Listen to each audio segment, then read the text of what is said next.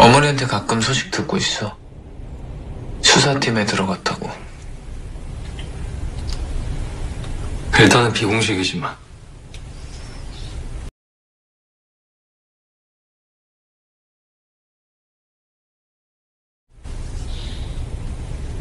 이런 날이 올 걸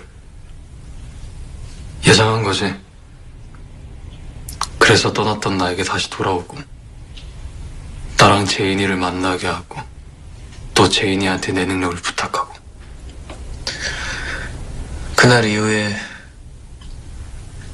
내 머릿속엔 사람이 되고 싶은 나와 태생부터 괴물이었던 내가 매일같이 싸웠어.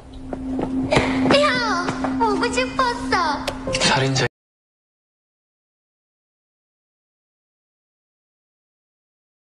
살인자인 내가 너를 살렸다고 하면 넌 얼마나 배신감을 느낄까? 그런 짓을 해놓고 네 앞에 서 있는 내가 괴물 같고 그러면서도 또 네가 걱정되고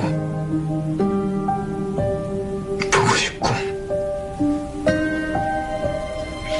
내가 너한테 다시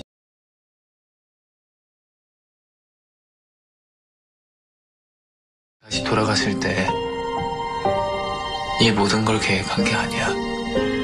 어쩌면 내가 널 살려냈을 때 네가 그 능력이 생긴 순간 시작은 아마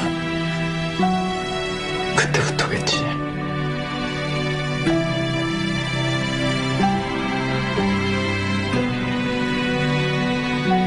누가 좀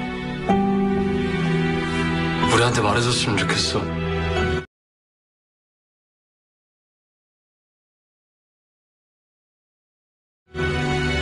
이제 그 정도면 됐다고.